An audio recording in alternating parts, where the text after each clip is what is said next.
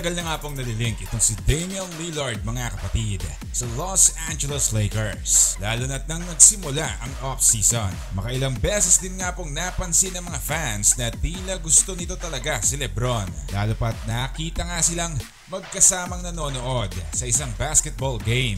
At hindi lang yan, meron ding post itong si Lillard sa Instagram ng kanyang sarili na ang background nga ay ang Los Angeles Court. Kaya dito lalo nga pong pinagkaguluhan at umugong ang samot-saring balita na magpapatrade talaga itong si Dame at alam na kung saan. Malamang nga pong hindi talaga rin sigurado ang future nitong si Lillard sa Portland dahil makailang beses na rin nga po itong nagpapahiwatig pero mas nilinaw nga nito na hindi siya maglalaro talaga sa Lakers sa ngayon. Nung na-interview nga itong si Lillard at pinag-usapan nila ang tungkol nga dito sa mga fans na nagpupustahan na maglalaro nga daw itong si Dame sa Lakers bago magsimula ang panibagong season ng liga. Pero tila masaklap nga po ang sagot itong ni Damian Lillard mga kapatid dahil pupusta rin nga daw siya ng milyon pa na hindi siya maglalaro para sa kupunan ng Lakers. Nakuha na nga daw ng Lakers si Westbrook at pareha nga silang naglalaro sa iisang posisyon. Kaya pupusta pa siya ng milyon na hindi nga pwede. Para bagang nasayang pa ang kagustuhan din ng Lakers na makuha nga itong si Lillard. Dahil nakuha naman nga nila si Westbrook at parehong superstar ang mga ito. Kaya paniguradong baka mag-conflict pa ang kanilang mga role o walang chemistry ng kanilang laro. Sayang lang din nga, di ba? Dapre nga pong nagaganap na gustong magpa-trade nitong si Lillard mula sa kanyang kupunan ng Portland Trail Blazers. Pero tila maliwanag na din na hindi na masaya itong si Dame sa Blazers. Kung hindi nga mag improve ang kanilang lineup at kung hindi talaga siya mabibigyan ng katimbang para maiangat nila ang kanilang kupunan hanggang finals. Siguradong isa lang ang magiging desisyon ni Dame dito at yan nga ay maghanap ng ibang kupunan na makapagbibigay sa kanya ng solid na kakampi at aagapay hanggang sa dulo.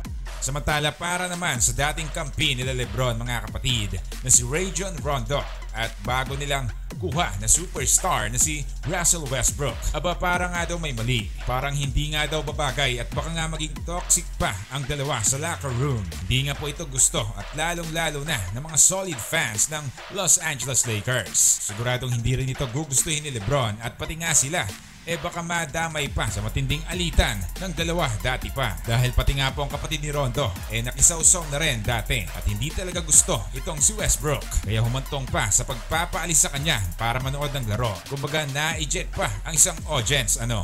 Ngayon nga pong tila tuluyan na ngang magpapasakmay muli ni Lebron si Rajon Rondo mga kapatid. Dahil eto na nga po ang hinihintay nila ang ma-buyout nga siya ng Grizzlies. Tamang oras na nga lamang po ang hinihintay ng lahat para maikasa siya muli sa kupunan ng Lakers. At dito nga masusubukan kung kakayanin ba nilang mapag-isa ang hangarin ng dalawa dahil malaking bagay nga po ito para sa pagtangka nilang muling masungkit ang kampinato. Bagamat lumipas na nga ang panahong mainit ang dugo nila sa isa't isa. Pero pwede nga po magbalik ito lalo na't matalo o magsisihan na.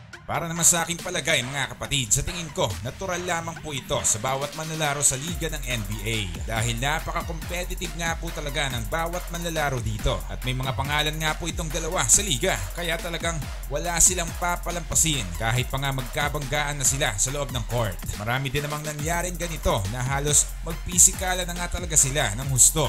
Katulad nga nila Kobe at Howard, maging sina Jordan at Pippen mga kapatid. At ito ding si Kobe at Matt Barnes na kalaunan eh naging maging kampi pa ng dalawang taon para tangkaing masungkit muli ang kampinato. Para sa inyong mga suwestyon o komento, ilagay lang po natin lahat yan sa ibaba at babasahin po natin.